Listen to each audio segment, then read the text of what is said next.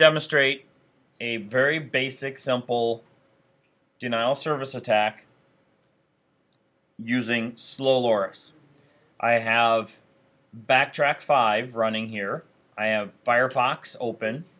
And my website is at 192.168.234.143. And I'm running simple XAMPP for Windows. It's a Windows 7 computer running XAMPP. And we can see the welcome screen and the status screen. And my XAMPP is running with Perl, PHP, ASP, um, SQL database, so everything is working just fine. I am now going to go to the website that has Slow Loris, ha.ckers.org slash S-L-O-W-L-O-R-I-S. Scroll all the way to the bottom, and you will see the download for Slow Loris PL. We're going to click on that, and we're going to select this entire script. So we're going to hit Control A, right click, and copy. So now that we have a copy of the Perl script, we are now going to go back to the command prompt, or the terminal prompt, of our backtrack system, which we can do that by hitting the little terminal icon at the top. And in here we are going to use VI, my favorite editor on every system, VI space, and we're going to call this little Perl script slowloris.pl. Kind of funny that we'd call it the same thing as what we're actually using, right? And we're going to hit the letter I for insert, and we're going to now paste the information in here. Since I'm in the terminal prompt, I have to hold the Shift, Control, and then hit the V key to paste it in. I'm going to hit Escape to get out of insert mode. I'm going to hit the Shift colon WQ for write and quit. Hit the Enter key, and I should now have created the Slow Perl script. If I want to take a look and make sure it's there, type ls, and I should see my desktop and the Slow Loris.perl script. Now I need to make it executable. And I do that with the chmod command. chmod space plus X for executable, and then SL, hit the tab key, and I have my slow Perl script in there. So the command was chmod plus X space slowloris.pl. Hit enter on that, and now if I do an ls, I can see slow Loris is changed to a green or a fluorescent yellow, whatever you want to call it. It is now executable. So now I'm going to run Perl space slow loris.pl space dash DNS space and then my IP address or name of the website I want to do a denial of service attack on. My website happens to be at 192.168.234.143. Now I want to make sure I have my little disclaimer here. The actions, I'm not responsible for your actions if you use any other IP address besides an IP address of a local web server that you own, that you're responsible for, and that you're not doing this against a website that you do not own or that you're responsible for. So in other words, I do not recommend you execute this command at all, just to be safe.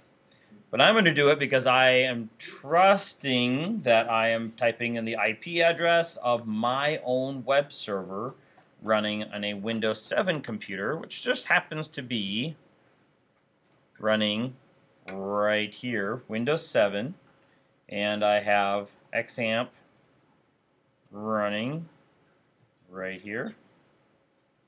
So this is mine. This is the computer that we're going to be attacking in this example. I'm going to hit enter. And now, if I go back to Firefox to try to browse to my website, click on the welcome screen or click on the status screen, it is going to sit there and try and try to connect, and it's not going to be able to.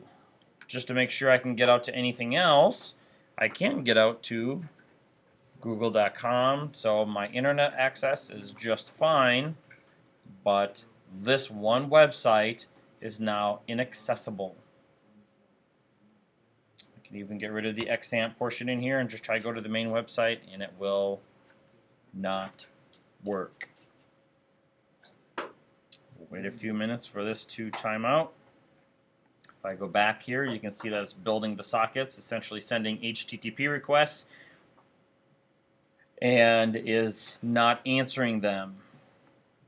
It has now sent 1,700 packets successfully.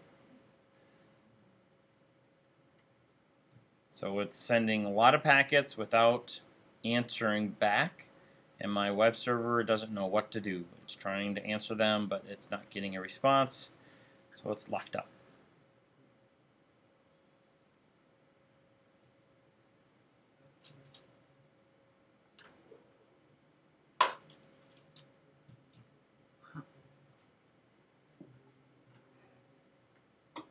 Now, would this even work against a like real setup website that it's going to have? Would this work against a real website? Yes, it would, and I'll demonstrate that next because I have another website that is publicly accessible on the internet that I'm going to try this against. So, like And it says this connection has timed out, so it's taking too long to respond. So if I break my hit Control C, go back and hit reload, everything loads just fine. My website is back up and working correctly. So now the question was, does it work on a real website? Well, this is a real website. Well, But I have a real public website called the Tech Ninjas that my students use.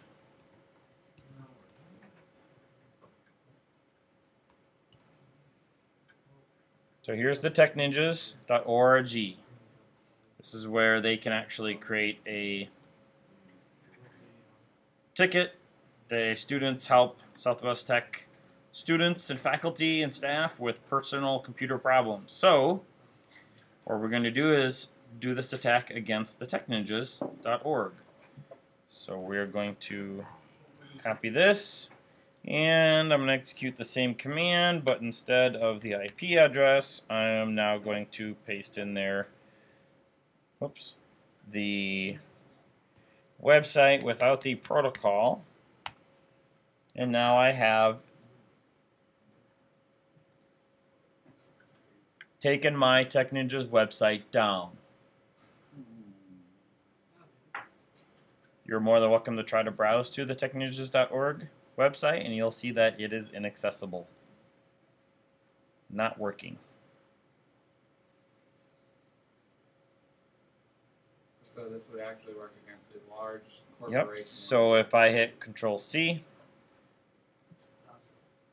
it stops it, and now I hit refresh, and now everything's working just fine.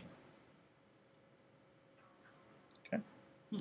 Again, I do not recommend that you use this on anything but a web server that you built yourself and are in total control of.